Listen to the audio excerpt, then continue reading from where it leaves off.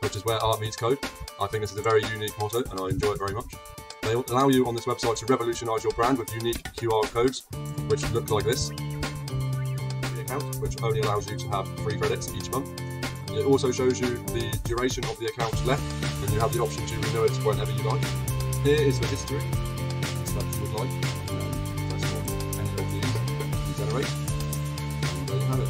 QR code that will send this bit of text to anyone who scans it. You upload your own QR code, you click on upload. Select your image export ratio. Here you either go for a 1 to 1 ratio, a 16 to 9, a 9 to 16, or a 4 to 5 ratio. Each one will vary on how you want your QR code come out inside. And then you have the sample. The sample count decides how many QR codes you want to create. For the video, we are just going to create one.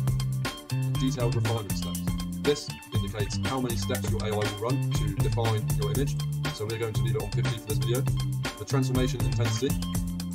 Transformation intensity determines the intensity of transformation to your original image. For this video, we are going to leave it on zero. It goes all the way up to one, but we're just going to leave it on zero. The creativity or music, and there are many others. They will all have pre-created art for you to use if you do not think of your own prompts to enter when creating your own art.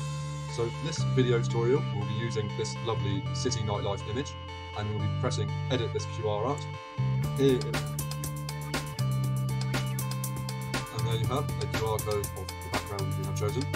So from here you can then add your own brand, which is an area where you can introduce your own logo into the imagery you have selected.